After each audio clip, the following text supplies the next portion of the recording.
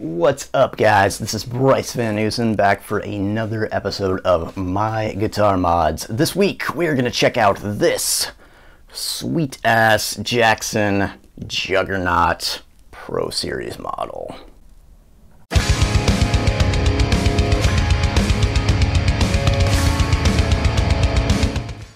I got this Jackson Juggernaut model um, at the beginning of this year from the fine folks over at Jackson who've been super kind and supportive of me ever since I started working with them. It's been great. And I told them that I really wanted something, a solid rhythm guitar to record the newest Silver Talon album with that uh, we just finished up. So I was looking at this Jackson Juggernaut model, maple neck, basswood body, which according to a lot of tone aficionados is kind of the best tonal combination. Um, of course, they also recommend sort of having a maple top on there to balance everything out, but you know, that's okay. I, I feel like if I use a brighter EMG pickup, it'll kind of have the same effect. So I'll let you be the judge of that. So yeah, right out of the box, this thing comes with basically just a stop string through tailpiece here basswood body, maple neck with a 20 inch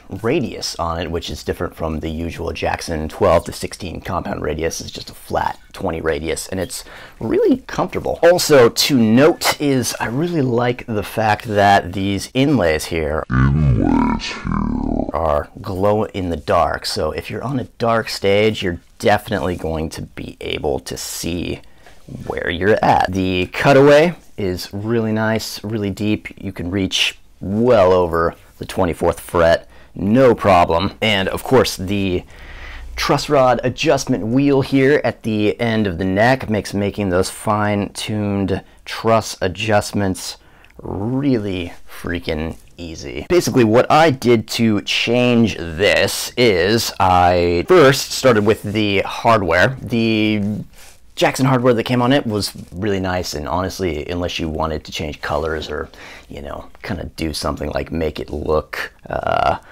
gold or whatever honestly I think you're you're solid just right out of the box with that stuff. But I changed out the bridge for basically what they did on the US model, which is they have the Hipshot string through bridge here. I really like using a bridge that has an intonation like this for recording because you can make adjustments just really easy. Just a screwdriver, a quick adjustment, boom! There's no reason not to have this baby fully intonated. Of course, brass knobs to match the gold, brass metal switch tip here, and I put some Sperzel gold locking tuners on this as well. These are my first Sperzels, but couldn't use the normal Gotoh ones that I use because there is not a spot for the set screw that they have. So yeah, had to go with something else. The Sperzels don't have that, and that's pretty cool. Pretty cool. And then of course, Schaller strap locks in gold as well. Moving on to the electronics, I have a bridge from the EMG Het Set and the 66 in the neck. So shout out to EMG for hooking it up and giving me kind of an odd pickup combination. That's not something that everybody can do, and I'm really thankful that they're uh, helping me out in that way. Of course, the EMG three-way switch, which is solid, absolutely no soldering. This is an RPC control, which is hooked up to the neck. You kick that on, gives you kind of a single coil-ish sound. Definitely increases the highs, but you don't have a drop in output like you would if you're kind of switching with a single coil.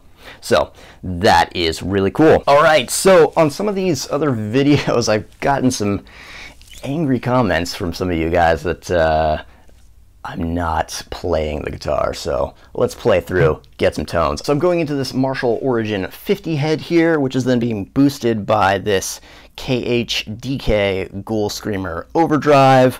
Uh, I got a noise gate just to cut down on any excess gain coming from either of these two babies. Going into a two notes torpedo captor into my Universal Audio Apollo Twin interface straight into my computer. So Let's hear how this sounds. Bridge pickup.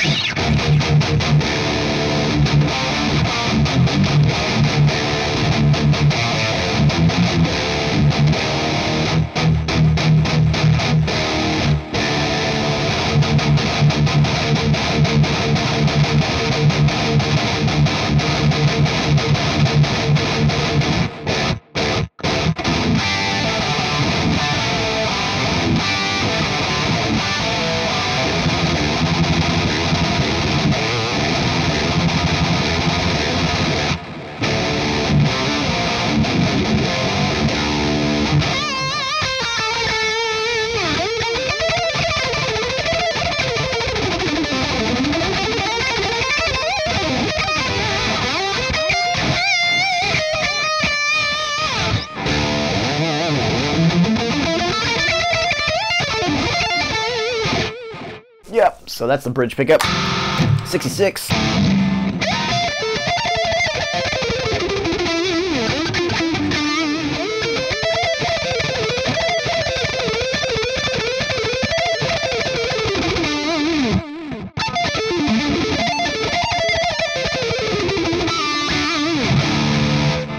Yeah. So then if I kick on this RPC knob, off, on.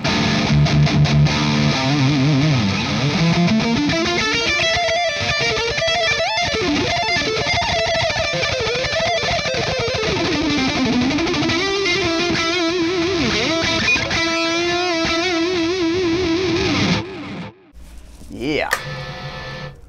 All right. Cool. And there you have it. Not much else. This is a simple shred beast.